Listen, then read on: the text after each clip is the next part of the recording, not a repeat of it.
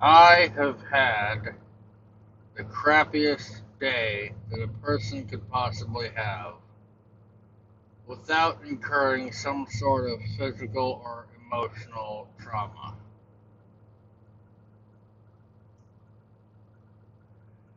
Would you like to hear the tale? Here's what it is in short. Uh, this is not my truck. I am. I was afforded the opportunity to go retrieve a truck. I'm currently just outside of Knoxville, Tennessee. Normally, when you see me, I am either in Indianapolis or I am in St. Louis. I go back and forth between the two places. This time, uh, my company had me go out and pick up this truck that I'm currently laying about in. Um, uh, because it was to make a long story short the the person was terminated and it was afforded me the opportunity to go and retrieve it. Having said that i probably should have just said no. But me always wanting to help and always wanting to be available and to a small extent, always wanting to come to the rescue. I said yes. And it wasn't no, it, it was it was bad. It was bad. First, I found out that I was gonna go on an airplane, and I love being on airplanes. They're so much fun. Uh, it's just it. A lot of people go on airplanes all the time, so it's not really that big of a deal to them. But to me, it's like I'm five years old again. It's like, what? Oh my gosh, I'm on an airplane. And I got some really awesome photos and a, a couple of really cool videos. Um, I'm going to see if I can figure out how to upload them to YouTube. Anyway, so I get on a plane uh, from Indianapolis to uh, Charlotte, North Carolina. The flight was delayed in the process of me being on the plane, I had to wait there. We all had to wait there for like 20 extra minutes. So when I got to Charlotte, I literally had to race all the way down the airport just to get to my other flight. And I got there just in the nick of time. Um, there was a couple of other stragglers behind me, but uh, the the Charlotte airport is not properly labeled. They had huge, magnificent labels behind huge, obnoxious pillars. And so you couldn't see them. You had to see them at like an angle. You couldn't see them when you were just coming, you know, straight on. And I got lost and I had to run back and forth. And of course, my legs hurt and I'm sweaty and I haven't showered in like two days. And it was very uncomfortable nevertheless, I made it to my flight just in the nick of time. Um, got there, had to wait some more. The plane that I got on was even smaller and crappier than the previous one. The, pr- the first one I thought, okay, well this is it's an alright plane, but it's you know, it's like driving your mom's Honda Civic. You're like, you know, I could do better than this. But nevertheless, it was a fully functioning and very nice airplane. I thought, okay, well, the next one I get on is going to be bigger and better, or at least, you know, better.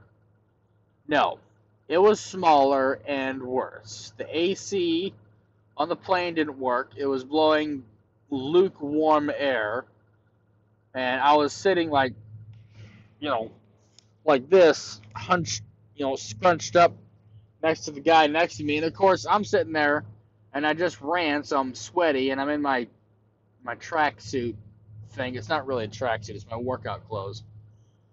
And I didn't put on deodorant this morning because I was in a big rush.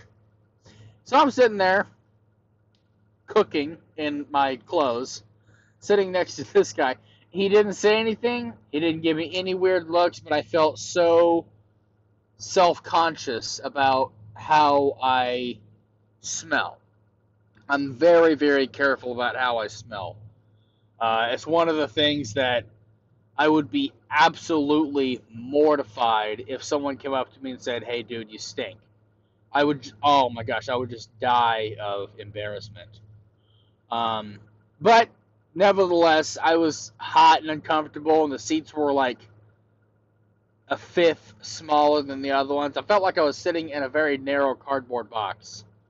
It was very uncomfortable. Finally, when the plane took off, I was able to move up a seat because the two seats in front of me uh, were unoccupied. So we, um, I, I, let the guy next to me have his own little space. He was dressed in really nice clothes too. I was like, Ugh, this guy seems really nice, and I'm probably stinking over here. Luckily, I, I didn't stink. I, but you know, I was deathly afraid that he was going to be like, ugh, gross, this guy. You know. Um, for those of you that don't know, fat people sweat a lot more than regular people. And you sweat in areas that you were like, why in the world am I sweating here? But it's, you do. You know, even if you're uh, not that overweight, you'll start to notice. One of the first things that you're going to notice is that you'll sweat in areas that you think it's really weird, like underneath your pecs. Um, and like in the middle of your stomach. It's really weird. It's just it just shows up.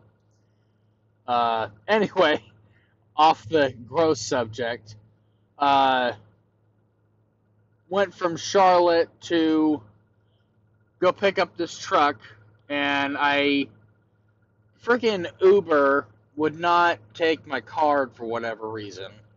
Um, I'm not trying to knock Noop. I'm not trying to knock Uber. I've used them many times with other people. They've been very, very helpful, very nice people, very good program. But I don't know why they won't take my card. Um, it's it's the same card that my friend uses when we go, you know, long distances away from our trucks when we hang out. And I just anyway, I couldn't figure that out. So I downloaded Lyft. Lyft worked spectacularly no problems at all. Uh, as a matter of fact, I downloaded Lyft, um, and then I went to the bathroom, uh, and I got done washing my hands, and I got a text from the Lyft app telling me that my driver was about to leave, and I was like, wow, he really got there fast. So I had to run to him. I get to this place, and the truck is sitting there. The truck, it may not look it, but it is covered in at least an eighth of an inch of strange, mysterious brown goop. It's not what you think it is, but it's like soda. This guy was disgusting. Okay, and I I used to clean out cars all the time uh, for many years, and you know you get a couple of really nasty ones. This one's a nasty one this one is a nasty one. It's every surface is sticky. The steering wheel, the the buttons on the on the door, um, the Qualcomm, the computer in the truck. I mean, just every inch of it. It's like, oh my gosh, you know, when I get a smudge on my screen, I wipe it off because it bothers me. Or if I know there's dirt somewhere, you know, about once a month, I'll go through my truck and really just wipe every surface down, um, just because it gets dust everywhere. But this one, the fridge is disgusting. I'm afraid to even open it. I'll probably be mauled by some sort of radioactive monster. Um, and he left a bunch of his stuff in here. He left he left a box of chocolates, gift wrapped for Christmas in his truck. Uh, I promptly uh, discarded them because they were soggy and causing a problem. So if he gets mad at me, I'll buy him a new new box of chocolates. But the refrigerator surface is gross. There's sticky, like somebody spilled soda a bunch of times and never once cleaned it up. You know, I feel like I'm inside a, a toddler's truck. You know, it's like, come on, man, clean up your mess. Even if it's just you, that's disgusting. Okay? I mean, it's hard for some people to clean up their messes, but it's not impossible. You can take it to places and they'll clean it for you for a price. Anyway, after all that, I am just totally and completely exhausted. I want to be at my I want to be in my own truck, but I'm pretty tired. So I pulled over. I have this microscopic blanket and I'm sleeping like this as a makeshift pillow. But you know what? This guy's in a good mood because I am finally down to the 260s. Mm-hmm. That's right. Down to the 260s. I finally got past that ridiculous thing. I'm where I was a month ago. Uh, I don't know what happened. All of a sudden, I just gained 20 pounds. Um, I didn't have any emotional stress. I didn't have. I, I guess I just lost focus and just kind of fell off the wagon. Anyway, I'm definitely dedicated to being a lot better now. Um, I almost drank uh, Monster uh, but I decided not to. And as a matter of fact, uh, a lot of you penny pinchers out there are going to criticize me for this, but I'm going to dump it out because um, I bought the sugary one, the really big one that's just loaded with sugar and stuff. Because um, I was getting really tired uh, and I wanted to finish the shift, but I was like, you know what? I just I need to do the right thing as a professional driver and pull over. It's the right thing to do. I don't want to. I just want to be in my own truck playing my Xbox. You know, just I just want to be in my own my own place. But you know, you have to do the right thing. You have to do the correct. And the correct thing for me was to pull over and go to sleep. So I'm probably making a YouTube video rather than sleeping. Um, yeah, 267. I feel really good. Uh, that marks officially 20 pounds that I've lost.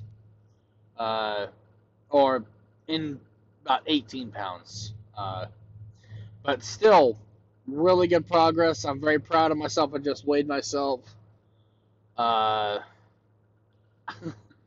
I feel really good. I was afraid to weigh myself uh, because I I screwed up so bad last weekend. I was just like, oh man, I'm so embarrassed. I don't want to weigh myself because I'm probably like 290, and oh man, I just felt so bad. But you know, hard work and perseverance really pays off. Hard work and perseverance really pays off, and it's you just got to keep on keeping on. You know, you have to come to a point to where you want it more. You want to lose the weight more than you want the burger in front of you. You know, and it's. I heard a really good quote from uh, my 600 pound life. I'm sure this is a quote from something else. So, uh, if you know where the quote came from, please let me know in the comment section. Um, but the quote was uh, Life is a journey that you need to take one step at a time. But sometimes that first step is getting on your feet.